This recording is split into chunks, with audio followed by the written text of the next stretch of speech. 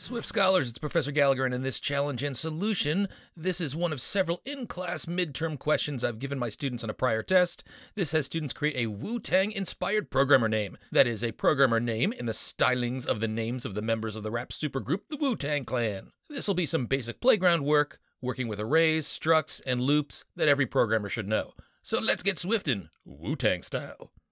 Now, just so you know where we're headed over the next several questions, the premise is that the Boston College Computer Science Society is going to have their first ever hack and rap showdown, and we'll be producing a competitor list for the battle order for members of our class. We'll create an array of structs that has the student name and the uniquely generated Wu Tang style coder name. There will be no repeat coder names. We'll randomize the array of structs, and we'll print that out in a set list. The inspiration for this is the popular Wu Tang name generator. There are several versions of this online. Donald Glover, the actor, used this to create his own rap name, Childish Gambino, so you'll create a Wu Tang name generator with coder centric names. Now, if you didn't know, GZA, who's also known as the Genius, a member of the Wu Tang Clan, is actually a big advocate of STEM education for underrepresented youth. Check this out on YouTube after you've completed the challenge, but for now, let us begin to hack. Now, we'll first create a playground named Wu Tang, so I'm in Xcode, File, New, Playground, calling this Wu Tang. And then for our first question, we create an array of strings that we'll call Swift students. And I prepared a list for our current students at this URL, so I'll highlight and copy that URL. Then we'll head to Xcode. I'll enter my question two comment, then create my variable with var Swift students equals open square bracket. Head back to my browser, paste in the URL that I copied, highlight and copy all of these strings, return to Xcode, paste the strings in between square brackets, make sure you close with a square bracket, and question number one is done. So now let's check out question number two. We'll add a comment and a print statement for Q2, and then we'll print out Swift students. And in the next line of code, we'll print out the name of each Swift student on a separate line. And for full credit, we need to print these using the for each statement. So that should go through all of the Swift students and use just a single line of code to print them all. I show you an example of what the output should look like, so let's code this up. I'll add my Q2 comment, and then as requested, print out Q2 with a line feed after it. And I'm going to do my line feed with backslash n, the escaped character in here. Then I'll print out Swift students in all caps. Let me increase the font so this is easier to see. And let's see, when I type in Swift students here, am I spelling this right? I am. Code completion isn't working right away. Sometimes that doesn't happen in the Xcode playgrounds. Sometimes if you shift enter and you run your code the first time, then the code completion will kick in better. I still don't have that happening, but I know that my variable is called Swift student, so I'll enter that lower camel case. Then I'll use for each after that with dot for each. And then in between curly braces, I'm going to say print, passing in dollar sign zero. Remember, the dollar sign zero is each individual Swift student as we iterate through all of the Swift students in the for each statement. And when we print that out, we get our list of students. Nice work, Swifter. I forgot the two. It's supposed to print Q2 for question two. I'll fix that, and now we're looking good. Now I'll put in the comment for Q3, question three, and let's check that one out. So Q3 has us write a function called Wu Tang Programmer that takes no parameters but randomly generates and returns a string, which is a Wu Tang coder name. Now, this function initially should include two local strings inside of it used to generate the coder name one for first names, which is a list of possible first names for the coder name, and the other, which is last name, which is the list of the possible last part of the coder name.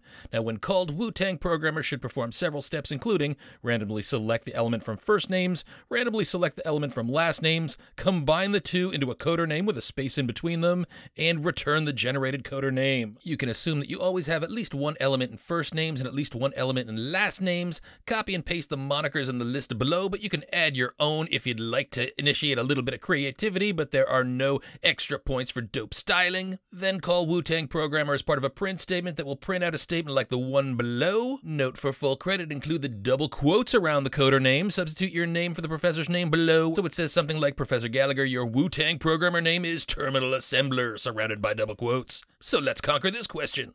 First, I'll print out Q3 surrounded by backslash n's. Remember, that's our escape character so that we get a line feed before and after the Q3. Then we'll create our function with func Wu-Tang programmer. Just open and close parens since we're not passing anything in. And we'll do open and close curlies. First, I'll create my array of first names with let first names equals. In between the square brackets, I'll copy those first names and paste them in. Then I'll say underneath this, let last names equals in between square brackets, copying and pasting the last names. Now remember, this is going to return a combined coder name, so I want to write my arrow after the double parentheses in Wu-Tang Programmer in the function line up here, and make sure that I pass back a string. Then down here, I'm just going to say return, and in between double quotes, string interp, and we'll pass in first names dot random element. Now remember, this is going to return back an optional because it's possible if we called this on an array that had no values, we would get back nil. So we need to deal with the nil. To deal with that, I'm just going to put an exclamation point to force unwrap the value that we get back. Normally, you want to be really careful when you're force unwrapping with an exclamation point, but as I mentioned in the question, it's okay to assume that you will have at least one first name element in the first names array and one last names element in the last names array. Then I'll put a space after this string interp and do another string interp, and this will be last names.random element exclamation point then I'm going to print out the line for me. That's going to be print, and in between quotes, Prof. Gallaugher, comma, your Wu-Tang programmer name is. And remember, we want to surround the name in double quotes, and the way we do that is with an escaped character, which is backslash double quote. Then I'm going to follow that with string interp, which is backslash open and close parens. Then I'll put a backslash double quote after this, and that will indicate that whatever I have in my string interp is going to be surrounded by double quotes. And inside the string interp is just a call to Wu-Tang programmer, open and close parens. Let's shift return and see what we get. Prof. Gallaugher, your Wu-Tang programmer name is Terminal Breakpoint. What a great name. Now let's take a look at question four and five. So four is create a coder struct as follows. The struct should be named coder with two properties. Name, a string that will hold the student name, and coder name, a string that's the result of the coder name returned by the Wu-Tang programmer function. So here we're just creating the coder struct, and then down in five, we're just creating an empty array of coder structs. So creating the struct is super simple. We say struct, capital C coder. Remember, we always capitalize. That's the convention when creating types, and a custom struct is a type.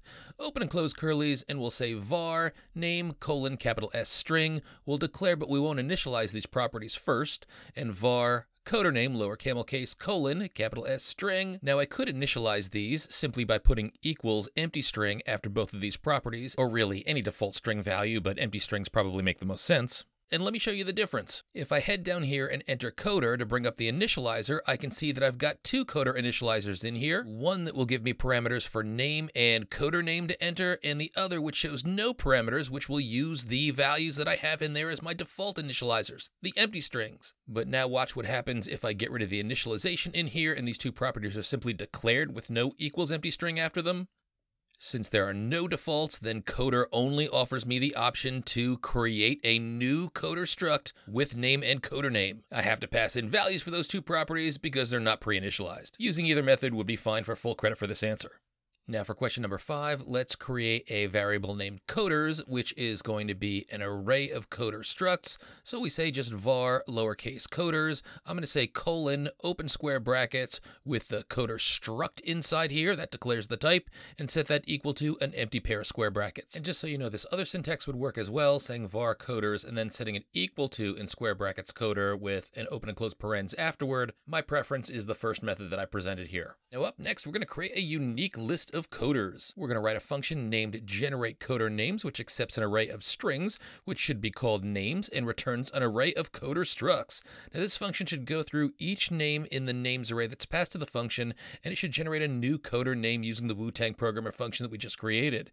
Now we should also check to see if the name coder name that was generated has already been used. And if so, just to show that we're not repeating any names, I want to print out a statement that says repeated coder name and then name the coder name, try again. And we should continue to generate a new coder name, checking to see if it's already in the list until we get a new non-repeated coder name. Once we get a non-repeated coder name, then we should create a new coder element using name and our new non-repeated coder name, and we should add that to the coder array that is going to be returned. So that returned array of coder structs should include the student name and a unique coder name for each student. Then we should call generate coder names by passing in the array Swift students, and the value that returned should be assigned to the coder's value, which is that empty array of coder structs that we created above. And at this point, we're not printing any elements of that coder's array, the array of coder structs that we created. We're just creating the coder's array and output that confirms that we had repeated values,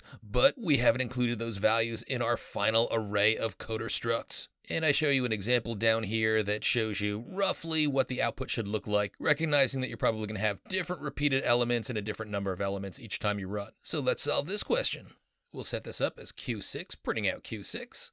Then we'll create our function with func generate coder names. In between parentheses, our parameter that we're passing in is named names colon, and that is between brackets string, an array of strings. And after the parens, we'll create our arrow because we're going to return a value, and that is going to be in between square brackets, capital C coder, an array of coders, open and close curlies. Now, there are a few ways to solve this. I'll show you what I think is the easier way, and then I'm going to show you a new technique after this. So I'm going to create two arrays. First, var coders array colon, and that's in bracket capital C coder, equals empty square brackets. This is eventually going to be the array of coders that I return. And then below this, I'll say var coders list colon, and in between brackets is going to be an array of string equals empty brackets. This is going to hold the unique names of each coder name generated in that Wu-Tang format. So we'll go through all of our names, we'll find a unique name. When we found a unique name, then we'll add it to both the coder list, and we'll use that unique name to create a new element of coder that we add to the coders array. So we'll do that with for name in names, curly braces, var coder name equals Wu-Tang programmer. Then we'll check to see if the Wu-Tang programmer is in our coder list. So we'll say while coder list dot contains coder name, open and close curlies. And if this is the case, then we've created a repeated coder name. So down inside this while loop, we're going to print out repeated name colon string interp coder name, comma try again. And to try again, I'm just going to copy this coder name equals Wu-Tang programmer call and paste it down below. And this while loop will repeat over and over again until we get a unique coder name that hasn't been used already. And if that's the case, then outside the while loop below this curly, we're going to say coders list dot append coder name. That adds our new uniquely generated coder name to the coder list so we can compare it again the next time we go through the for loop. And then down below, we're going to generate a new coder element to add to our coders array, this array that we're going to return. So we'll say coders array dot append in between parens. We'll say capital C coder open parens. This will generate a new coder struct and we're going to pass in name and coder name. Then below this curly, which is when we're completely done with the for loop, we'll just return coders array. Then we'll call this by saying coders equals, so we want to fill in that empty coder array that we created with the results of a call to generate coder names, passing in Swift students as our names. And we see the results down here. We've got a bunch of repeated names that's expected, but we should also now have an array of coders that has unique names in there, one unique name per student. You can run this again, you should get different results, and that seems to work out great. Now, we haven't shown this in any of our lessons, but I do want you to know about the contains where method. Now, this will save us some code. Contains where returns a bool value if the comparison code that I include between the curlies is true. So let me show you how we can use this to write even better code. So I'm going to highlight this block of code here, copy it, then comment it out with a slash, and then down below I'll paste the same block of code and we'll perform a bit of surgery. Now we won't need to keep this coder list array of unique coder names because contains where will let us compare elements inside the array of coder structs.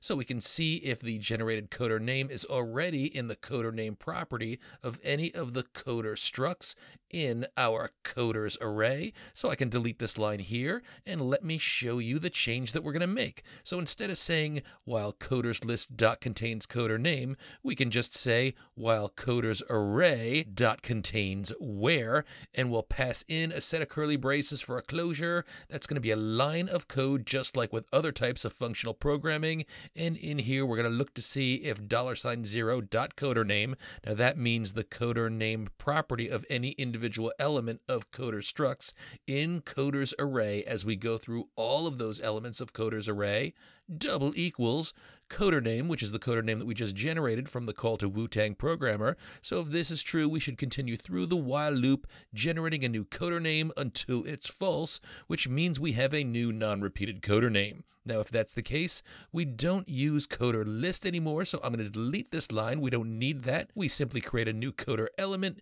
and append it to our coders array. And that's it we save two lines of code and we don't generate that extra string array. Contains where? Very handy. You can run this a few times on your own. You should see that it works perfectly. So now let's head over and complete this exercise by finishing question seven. So we're going to finish this off by generating the battle order for the Computer Science Society's first ever rap and hack throwdown where participants will sling freestyle rhythms in an epic rap battle, then hack a related app with a theme based on their flow. Students will perform in the order of the coders array that they just created, We need to randomize that array and print the battle order list with the performance slot beginning with the number one for the first performer, followed by the student name, aka, and then their Wu Tang style coder name. Now we want to print battle order, we want to randomize the list of coders. That needs to be done in place, do not generate using an array of coder structs.